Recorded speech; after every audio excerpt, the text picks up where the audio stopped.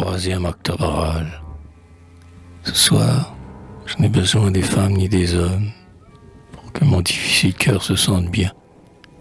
À travers mon pays, octobre sans les pommes, et passionnément, je possède mon bien. Je ne veux rien de plus. La simple et bonne route qui s'en va par les champs récoltés. Le croissant qui monte à l'horizon du rouge soir puissant. Quelques vieux pommiers tordus me prennent toutes.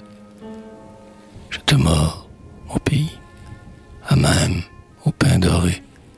Ma soif boit la belle eau qui court dans ta vallée.